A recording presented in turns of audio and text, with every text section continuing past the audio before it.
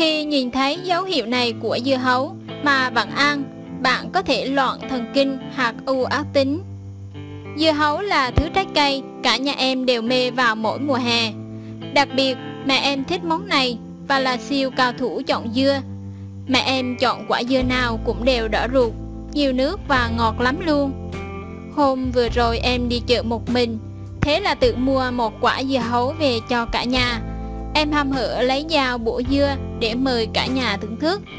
Vừa lúc ấy mẹ em cũng về, nhìn thấy quả dưa trên tay em, mẹ em bảo Thôi, đừng tiếc mà ăn nữa, dưa như thế này chỉ có bỏ đi thôi con à.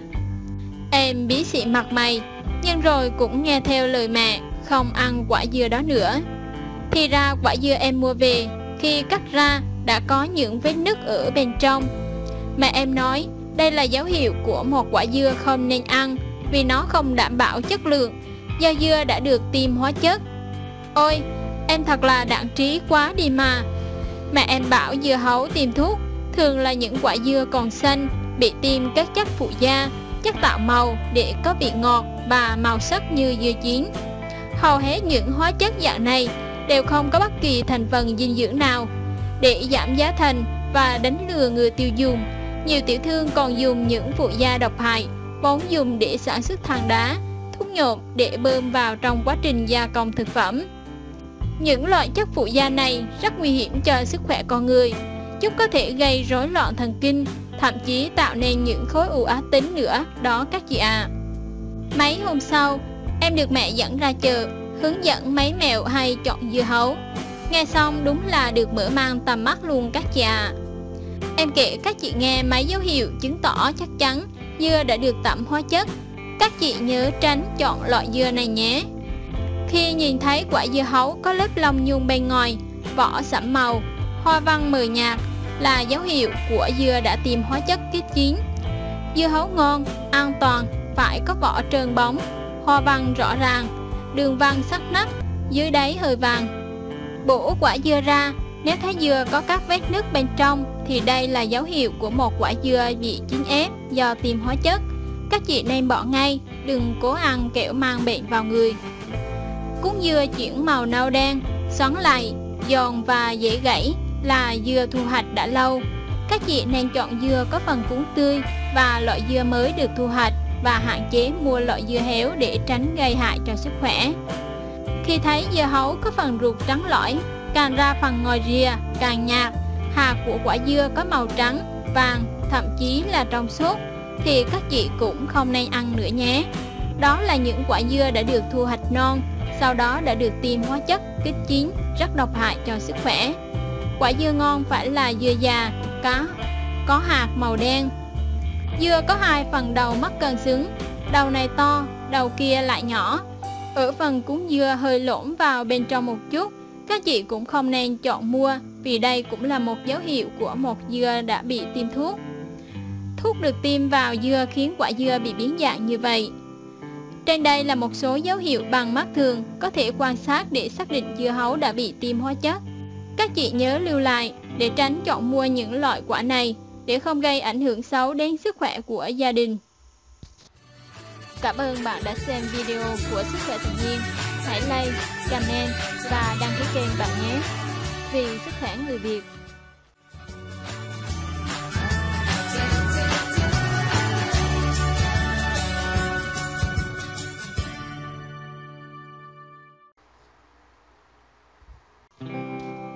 Giật mình về những nguy hại khó lường của bánh trung thu Bánh trung thu luôn là thứ quà, không thể cưỡng đối với bất cứ ai.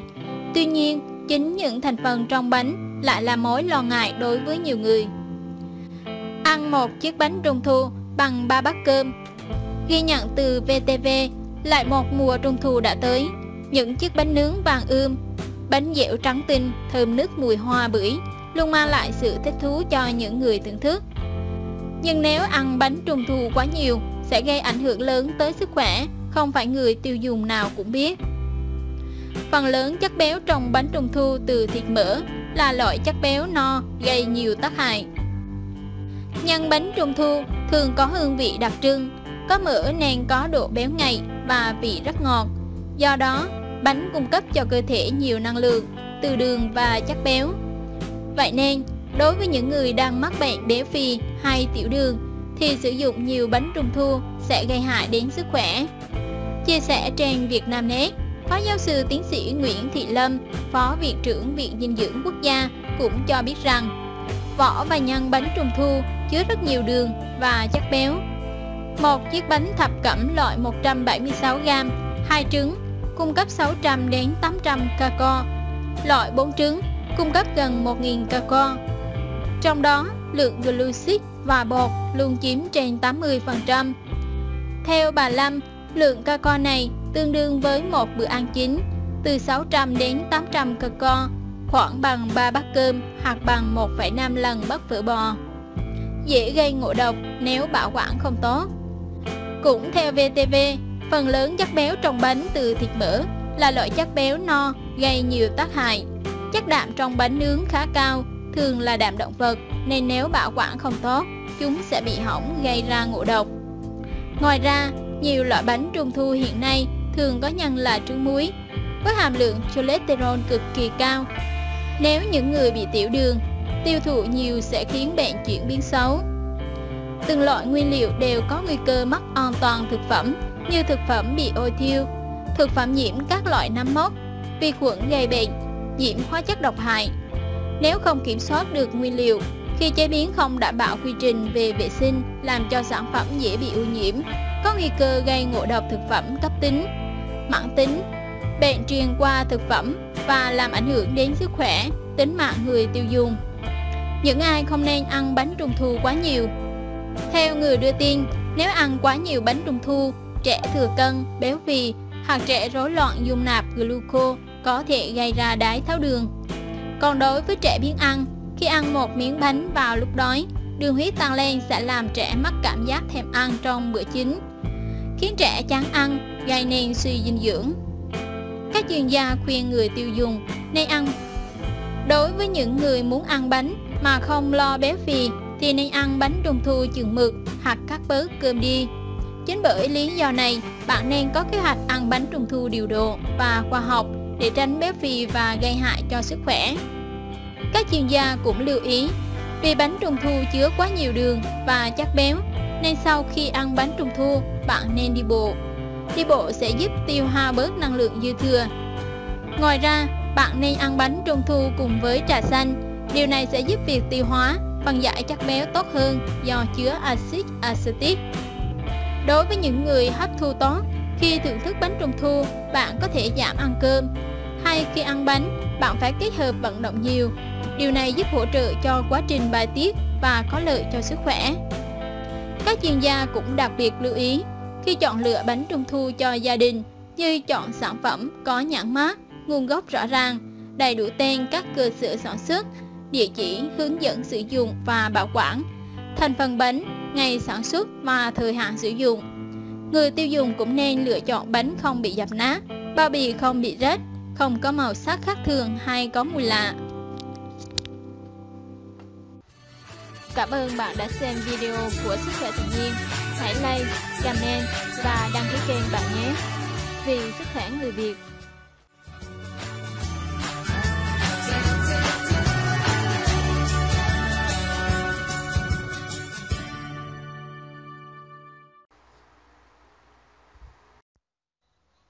Bị những bệnh này, chỉ cần ăn đậu bắp là khỏi. Các bạn hãy lưu lại ngay để có sức khỏe tốt nhất. Ngừa ung thư vú Một nghiên cứu của các nhà khoa học Brazil được đăng trên chuyên sang Biology Letter cho thấy chất lectin có trong đậu bắp tiêu diệt tới 72% tế bào ung thư vú. Các chuyên gia còn nói rằng lectin ở hạt đậu bắp trì hoãn sự tăng trưởng của các tế bào ung thư vú tới 63%. Nghiên cứu trước đó của các nhà khoa học Ba Lan và Pháp đăng trên chuyên sang Phytotherapy Research cho kết quả Pectin trong đậu bắp có tác dụng tiêu diệt các tế bào u ác tính. Trong thời gian điều trị 48 giờ, Pectin giúp ức chế sự tăng trưởng của các tế bào ung thư tới 75%. Giảm cân hiệu quả Đậu bắp có chứa chất xơ giống như mướp nên có thể giúp bạn cảm thấy no lâu hơn. Khi ăn đậu bắp, bạn sẽ giảm được nguy cơ ăn vặt, nhất là ăn vặt vào bữa tối. Do vậy, bạn sẽ không phải lo đến khả năng ăn quá calo cho phép.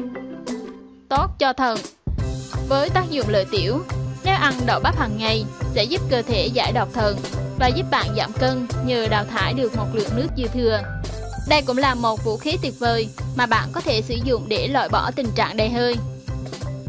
Hỗ trợ khả năng sinh sản và sức khỏe khi mang thai. Hàm lượng folate trong đậu bắp cao là yếu tố đặc biệt quan trọng mà bạn nên cân nhắc khi muốn bổ sung vào chế độ ăn uống trước khi thụ thai, vì nó làm giảm tỷ lệ dị tật ống thần kinh ở con. Tương tự như vậy, ăn nhiều folate trong thời kỳ giúp hỗ trợ một người mẹ và em bé khỏe mạnh. Giảm bệnh hen và ngừa bệnh táo bón Các chuyên gia cho biết, ăn đậu bắp giảm nguy cơ lên cơn hen ở những người mắc bệnh hen suyễn. Hàm lượng chất xơ có trong đậu bắp kích thích nhu động ruột, qua đó ngừa táo bón. Tốt cho người bị tiểu đường Đậu bắp còn hữu ích cho bệnh nhân tiểu đường vì nó giữ ổn định lượng đường trong máu. Theo nghiên cứu của các nhà khoa học thuộc Bệnh viện Y học cổ truyền tỉnh Cát Lâm và Đại học Cát Lâm Trung Quốc, ăn đậu bắp cải thiện chức năng thận ở bệnh nhân tiểu đường. Bên cạnh đó, các đặc tính kháng khuẩn của đậu bắp giúp các cơn ho và giảm đau họng. Cảm ơn bạn đã xem video của Sức khỏe tự nhiên. Hãy like, comment và đăng ký kênh bạn nhé. Vì sức khỏe người Việt.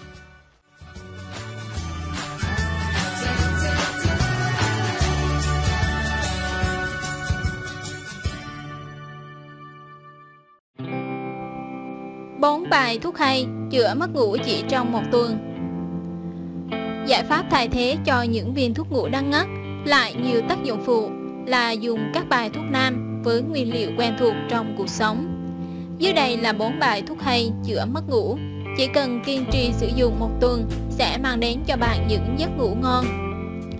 Top 4 bài thuốc hay, chữa mất ngủ 1. Lá bông nêm Lá bông nêm có chức năng như tên gọi của mình Dùng lấy lá gói nêm hạt được trồng để làm cảnh Tuy nhiên từ lâu đời, y học cổ truyền đã chứng minh trong lá bông có những hợp chất tác động lên hệ thần kinh trung ương, kích thích giấc ngủ. Lá bông nêm cũng có thể chế biến thành nhiều bài thuốc hay chữa mất ngủ như sau. Hãm nước uống Lấy lá bông, hoa nhài tươi, táo nhân xào đen và tâm sen xào thơm thành một thang, sắc với 2 lít nước uống nhiều lần trong ngày. Ngâm rượu Lấy lá vòng nêm phơi khô, thái nhỏ, cho một lít rượu vào ngâm ngập lá, đậy nắp kín để trong 20 ngày, mỗi lần uống lấy 15ml, dùng trước khi đi ngủ là tốt nhất. 2. Hoa nhài Hoa nhài, ngoài việc dùng để ướp trà, tạo mùi thơm, thì cả rễ và hoa của loại cây này còn được ứng dụng để chữa mất ngủ hiệu quả. Có hai cách dùng cây hoa nhài làm thuốc như sau. Với hoa nhài, bạn hái khoảng 10 bông hoa tươi, sau đó cho thêm 2 gam tầm sen, sắc lấy nước uống nhiều lần trong ngày. Với rễ cây nhài, bạn có thể phơi khô, cắt nhỏ để ngâm rượu. Rượu rễ hoa nhài để khoảng một tháng sẽ ngã sang màu hành vàng, có mùi thơm nhẹ rất dễ uống. Dùng liên tục khoảng một tuần sẽ giúp ngủ ngon hơn. 3. Hạt sen Hạt sen không chỉ được dùng dưới dạng thực phẩm mà nó còn được các chuyên gia đông y đánh giá cao trong việc an thần, thúc đẩy giấc ngủ. Tuy nhiên, thành phần chính chữa mất ngủ lại không phải hạt sen mà là tâm sen. Phần nhân màu xanh nhỏ nằm ở giữa hạt. Bạn có thể sử dụng hạt sen nấu thành những món ăn, bài thuốc hay chữa mất ngủ như chè hạt sen, hạt sen long nhãn. Nên để cả phần tâm sen bên trong, mặc dù sẽ làm món ăn có vị đắng nhẹ, nhưng lại rất tốt. Nếu dùng riêng phần tâm sen thì cần sao vàng để hạ bớt dự tính, sau đó hãm nước và trà uống. Liều lượng thích hợp mỗi ngày là từ 1 đến 3 gram. Dùng quá nhiều sẽ ảnh hưởng đến khả năng sinh lý của cả hai giới. 4. Quả dâu tầm Quả dâu tầm khá lành tính và nhiều tác dụng với sức khỏe, đặc biệt tốt cho người mất ngủ. Còn gì tuyệt vời hơn khi mùa hè nắng nóng được thưởng thức những cốc nước dâu ngâm mát lạnh. Một cách khác, bạn cũng có thể làm cao dâu bằng cách ép lấy nước 1 kg dâu tầm chín rồi đem đun với lửa nhỏ. Thêm đường nấu thành cao mềm. Mỗi ngày dùng 1 đến 2 lần, mỗi lần khoảng 5 gram. vừa dễ ngủ lại cung cấp nhiều vitamin cho cơ thể. Bên trên là 4 bài thuốc hay chữa bệnh mất ngủ từ những nguyên liệu rất đời, chẳng cần tốn kém hay tìm đâu xa xôi. Bạn vẫn có thể chữa bệnh hiệu quả mà rất an toàn, ngại gì mà không thử. Cảm ơn bạn đã xem video của Sức khỏe tự nhiên. Hãy like, comment và đăng ký kênh bạn nhé. Vì sức khỏe người Việt.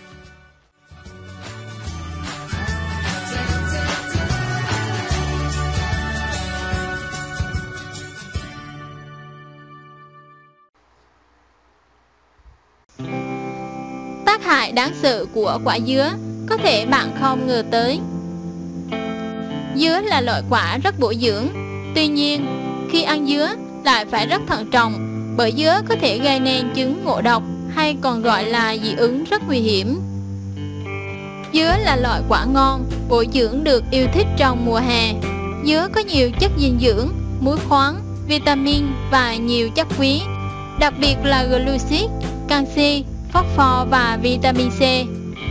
Về thành phần hóa học, trong 100g dứa ta có 90,5 g nước, 0,8 g fructis, 1 g axit hữu cơ, 6,5 glucosic, 15 mg canxi, 17 mg phốt pho, 0,5 mg sắt, 24 mg vitamin C và các loại vitamin khác như vitamin B1, B2, PP, carotin.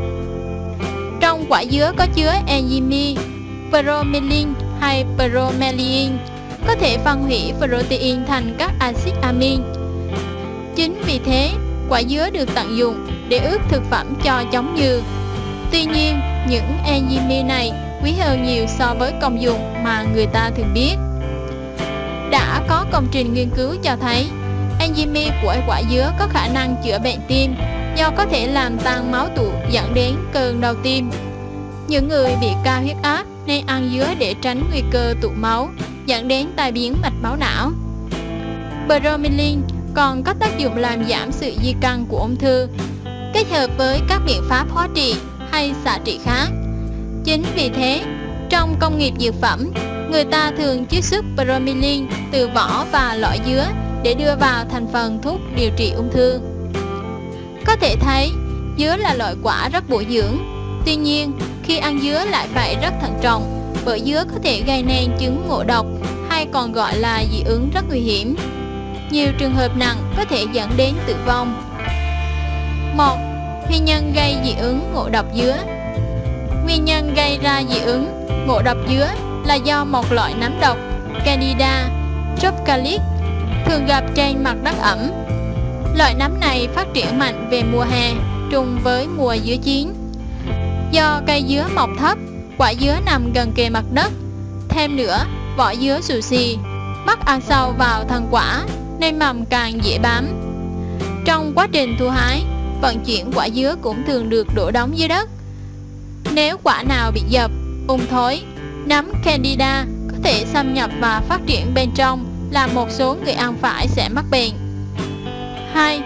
Những biểu hiện dị ứng, ngộ độc dứa Người bị dị ứng ngộ độc dứa thường có những biểu hiện sau Nôn mửa, tiêu chảy, đau bụng quằn quại, ngứa ngáy toàn thân, miệng lưỡi tê dài, khó thở nổi mề đay, gây sốc. 3. Xử lý tại nhà khi bị dị ứng ngộ độc dứa Trong trường hợp bị dị ứng, ngộ độc nhẹ có thể xử lý tại nhà bằng cách gây non cho người bệnh. Dùng tay ngoái họng, cho non ra hết chất độc vừa ăn phải. Sau đó cho người bệnh uống siro PK với liều lượng người lớn từ 15 đến 30 ml, trẻ em từ 1 đến 12 tuổi 5 ml. Cần cho uống than hoạt tính để giải trừ hết chất độc của dứa còn sót lại trong cơ thể. Lấy 20g pha trong 200ml trước uống một lần Uống nhắc lại sau 2 giờ với liều lượng 100g ở người lớn, 25 đến 30g ở trẻ em. Trong trường hợp bị khó thở, suy hô hấp, cần đưa bệnh nhân đi cấp cứu tại cơ sở y tế. 4. Cách ăn dứa an toàn Chọn mua dứa tươi và lành lặn không bị dập nát, gọt bỏ hết vỏ và mắt dứa. Nếu ăn dứa trực tiếp, ăn sống, thì cần cắt nhỏ miếng dứa rồi ngâm vào nước muối nhạt chừng 10 phút để loại bỏ nấm độc. Đồng thời ức chế enzyme phân giải protein khiến người ăn không bị rát lưỡi. Đối với người có cơ địa mẫn cảm hay bị dị ứng và trẻ em nên ăn dứa đã xào, nấu vì khi xào nấu dưới tác động của nhiệt, khả năng gây dị ứng của dứa không còn nữa. Không nên ăn dứa khi đói vì các axit hữu cơ của dứa và bromelain tác động mạnh vào dạ dày, ruột, gây non nao khó chịu. Người có bệnh chảy máu hoặc có nguy cơ chảy máu, chảy máu cam, sốt xuất huyết, vết thương lớn, phụ nữ băng huyết không nên ăn dứa. Cảm ơn bạn đã xem video của Sức khỏe tự nhiên. Hãy like, comment và đăng ký kênh bạn nhé. Vì sức khỏe người Việt.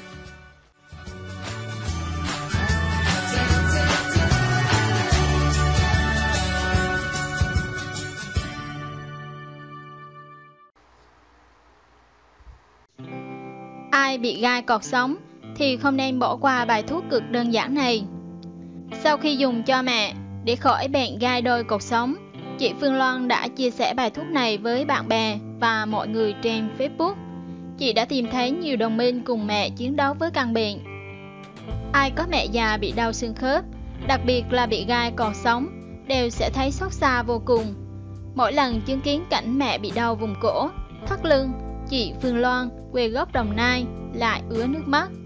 Thương thay cho mẹ. Chỉ có điều, mẹ chị nhất mực không chịu đến bệnh viện. Bà cứ gàn con và bảo, mẹ sống chung với lũ cả 20 năm nay rồi, giờ đi khám làm gì cho phí tiền. Nhưng đấy là khi bà mới 70 tuổi, còn đi lại túc tắc được và thời tiết lúc đó ở miền Nam không quá khắc nghiệt. Sau đó, bà đã cùng cả gia đình chị Loan ra Hà Nội sinh sống nên càng cảm nhận rõ rệt những cơn đau do căn bệnh này đem lại. Nhớ lại khoảng thời gian hải hùng ấy, chị Loan chưa hết rùng mình. Tôi thương mẹ tôi lắm, bệnh gai cột sống của bà khi ấy đã trở nặng đến mức suốt ngày đau tê ở cổ, rồi lan qua hai tay, đau dọc sống lưng xuống hai chân. Tôi có massage đấm bốt hay cho bà uống thuốc giảm đau cũng không ăn thua. Đêm đến, bà không dám làm phiền con cháu nên cứ rì rì khóc. Khi thời tiết ổn định thì mẹ tôi túc tắc đi khắp nhà. Vui vẻ vì đỡ mệt, nhưng chỉ vài ngày sau, mức độ đau sẽ tăng lên gấp đôi. Khi tái khám, bác sĩ nói mẹ tôi đã bị rất nặng, dây thần kinh chằng ép quá nặng, không chừng chỉ một thời gian ngắn nữa sẽ gặp chứng ống tủy, thu hẹp rối loạn đại tiểu tiện và mắc cảm giác toàn thân.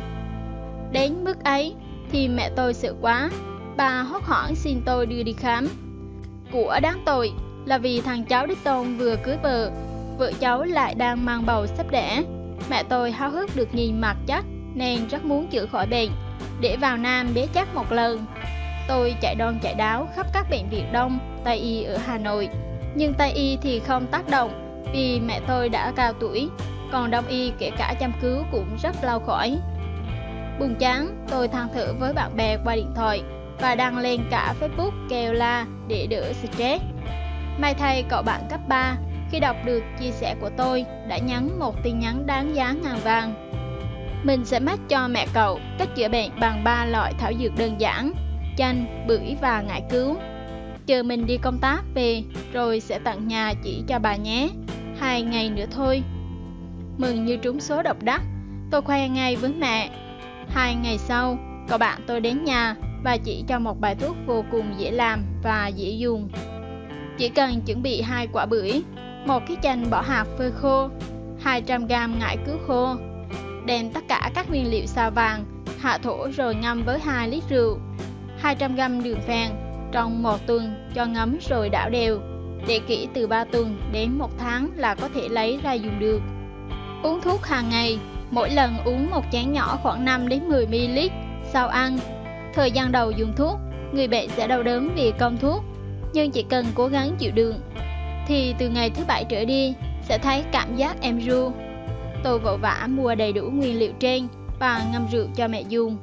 Đúng như lời cậu bạn tôi nói, sau 7 ngày, mẹ tôi như tìm lại được niềm vui sống. Bà ăn ngon miệng hơn, đi lại dễ dàng và ngủ gần 5 tiếng liên tục mà không đau e ẩm mình mẩy như trước nữa. Tôi mừng lắm Dục mẹ uống đều trong một tháng liền Sau đó, tôi gọi điện nhờ cậu bạn tư vấn xem nên uống tiếp thế nào. Cậu ấy cũng vui lây và bảo mẹ cậu bị đã lâu nên để bà uống đều đặn trong vòng 2 đến 3 tháng. Sau đó nửa năm thì uống lại liên tục trong một tháng. Cách năm sau, mỗi năm uống một lần liên tục trong một tháng là được. Mẹ tôi đã chữa khỏi gai cột sống đơn giản, chỉ bằng bài thuốc đó đấy. Tôi háo hức chia sẻ bài thuốc hữu dụng này cho bạn bè, họ hàng gần xa. Nhờ thế mà mẹ tôi đã có thêm nhiều đồng minh nữa trong cuộc chiến chống lại căn bệnh đáng ghét này. Và thật tuyệt vời, ngay sau liệu trình đầu tiên, mẹ tôi đã đủ sức khỏe để bay vào Nam, chăm chắc mới chào đời. Bà vui mừng lắm. Qua tìm hiểu, tôi được biết, trong dân gian có nhiều cách chữa gai cột sống, tận dụng những thảo dược dễ kiếm không có tác dụng phụ, nhưng thực tế áp dụng lại rất hiệu quả. Trong bài thuốc kết hợp từ các thành phần trên cũng rất có lý. Bự bưởi có những phytochemuca ngăn ngừa chất protanladin làm viêm khớp xương. Theo đông y, muối bưởi có vị ngọt, chua, tính hàn, có tác dụng kiên tỵ, giảm ho, tan đờm, chữa rối loạn tiêu hóa, đau đầy bụng, khó tiêu, đau khớp. Vỏ bưởi tính ấm, vị đắng, ngọt, có tác dụng tan đờm, giảm ho, điều hòa khí huyết, giảm đau. Ngải cứu thì tính ấm, có vị cay, có tác dụng ôn hòa khí huyết, hay được dùng chữa các bệnh đau đầu hoa mắt, nhức bút xương khớp, đau thần kinh tọa. Chanh có chức năng giải độc, bảo vệ thành mạch, tăng cường hệ miễn dịch và hạn chế tác hại của những gốc tự do để làm chậm sự lão hóa, từ đó tăng cường khả năng tự chữa gai cột sống. Theo đông y, lá, rễ và vỏ quả chanh có vị the, đắng, mùi thơm, tính bình, có tác dụng tán phan giải nhiệt, hoạt huyết, thông kinh lạc, tiêu đờm, tiêu thực, giảm ho, sơ tiết càng khí. Cây chanh thuộc nhóm 54 cây thuốc, có giá trị dược liệu cao nhất trong danh mục hơn 7.300 loài thực vật, được tổ chức Plan for a Future ở Anh Quốc phân loại và xếp hạng căn cứ vào giá trị dinh dưỡng cũng như dược liệu. Theo bác sĩ Hoàng Khánh Toàn, trưởng khoa y học cổ truyền, Bệnh viện Trung ương Quân đội 108, các vị thuốc trong bài đều có tính ấm, lại được ngâm trong rượu đế cũng có vị cay, tính nhiệt nên rất phù hợp chữa gai còn sống. Thêm nữa, vỏ bưởi và quả chanh đều có công năng hành khí nên có tác dụng chỉ thống giảm đau. Theo y học cổ truyền, thống đau là do bất thông, ứ trệ, tắc ngẳng.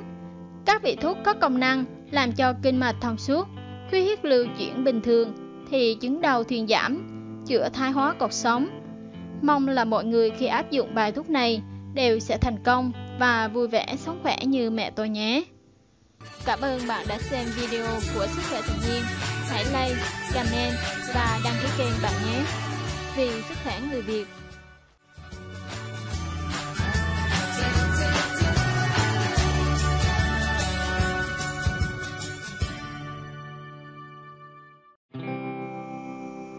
Bón cách trị thái hóa cột sống lương mà thiên nhiên ban tặng những vị thuốc tự nhiên có sẵn là cách trị thái hóa cột sống lưng tốt, bổ, rẻ. Tham khảo món bài thuốc dân tộc sau, biết đâu cơn đau bạn phải chịu sẽ cải thiện đáng kể. Cách trị thái hóa cột sống lương Bón cách sau là sự kết hợp của dược thảo thiên nhiên cùng kiến thức dân gian được lưu truyền đến giờ. Mật ong và bột quế cho hai thìa mật ong, một muỗng nhỏ bột quế và một cốc nước nóng mỗi ngày uống 1 đến 2 lần vào sáng và tối. Tuy đây là bài thuốc phối từ hai loại thuốc quý, nhưng không phải ai cũng dùng được. Trường hợp không nên áp dụng. Để an toàn hơn, bạn có thể dùng bài thuốc đắp ngoài, lấy mật ong pha với bột quế, cho thêm chút nước ấm thành hỗn hợp sền sệt, xoa nhẹ nhẹ vào chỗ bị đau. Mật ong và quế giúp tán hàng trừ thấp, giảm đau rất tốt trong nhiều chứng đau khớp mãn tính. Rễ trinh nữ. Trinh nữ chính là cây xấu hổ. Dược liệu có tác dụng an thần, kháng viêm, làm dịu đau. Cách trị thái hóa cột sống lưng phổ biến với các biểu hiện đau lưng. Chân tay tê bại. Rễ trinh nữ rửa sạch, thái mỏng. Tẩm rượu đem sao thơm còn 20 đến 30 g Đem rễ đã sao thơm sắc với 400 ml nước.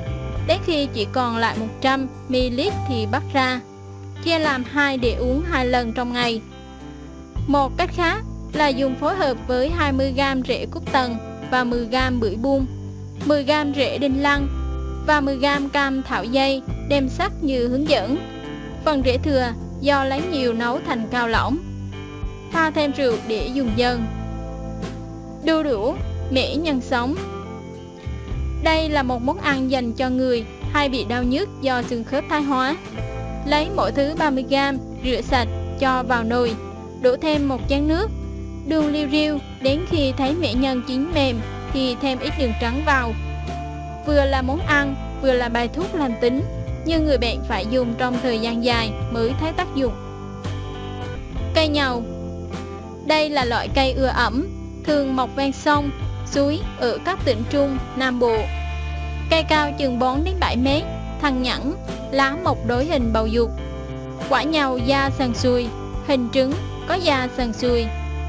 Xanh nhạt khi còn non và vàng nhạt lúc vừa chín. Đặc trưng của loại quả này là mùi nồng và cay. Cách trị thái hóa còn sống lương từ cây nhầu. Cách 1. Lấy 5 lạng rễ nhầu thái nhỏ, phơi khô, xào vàng, ngâm với 2 lít rượu 45 độ trong nửa tháng. Uống một ly nhỏ trước bữa ăn. Cách 2.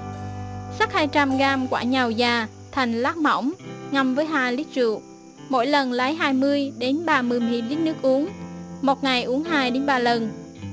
Cách 3. Dành cho bệnh nhân phòng thấp. Rễ cây nhầu, cây đau xương, thổ phục linh, rễ cỏ xước, mỗi loại 20g, cam thảo dây 6g đem sắc uống. Chia thuốc uống làm 2 đến 3 lần trong ngày. Cảm ơn bạn đã xem video của Sức khỏe tự nhiên. Hãy like, comment và đăng ký kênh bạn nhé. Vì sức khỏe người Việt.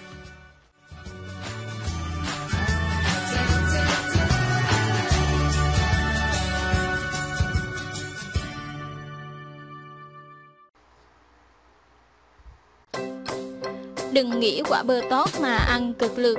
Bảy tác dụng phụ đáng sợ đây các mẹ ạ. À. Bơ vốn được tôn thờ là loại quả vàng cho sức khỏe. Nếu ai đó không biết ăn bơ thì đó là một sự thiệt thòi lớn. Nhưng những người ăn bơ tùy tiện còn có thể chịu hậu quả lớn hơn. Điều sẽ xảy ra với cơ thể bạn khi bạn ăn quá nhiều quả bơ.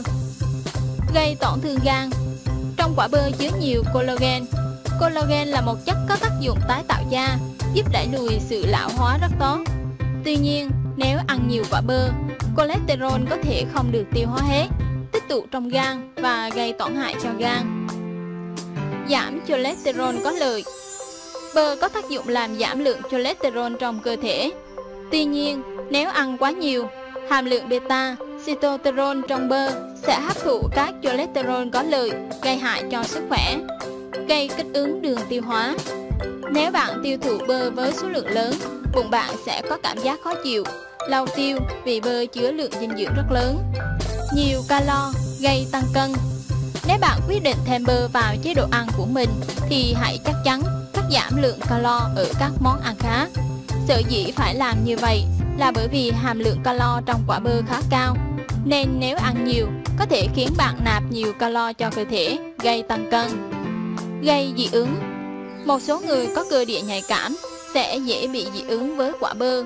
Nếu thấy các dấu hiệu như chóng mặt, mặt ngứa buồn non, khi ăn quả bơ thì bạn đã nằm trong số đó và cần chú ý để tránh loại quả này trong chế độ ăn của mình. Ảnh hưởng đến tác dụng của một số loại thuốc.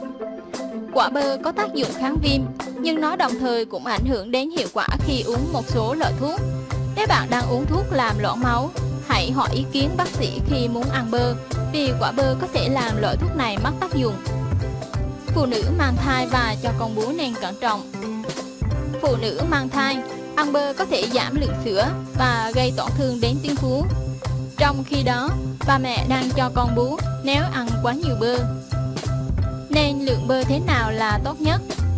Trung bình, quả bơ chứa khoảng 25 loại vitamin và khoáng chất tự nhiên tốt cho sức khỏe.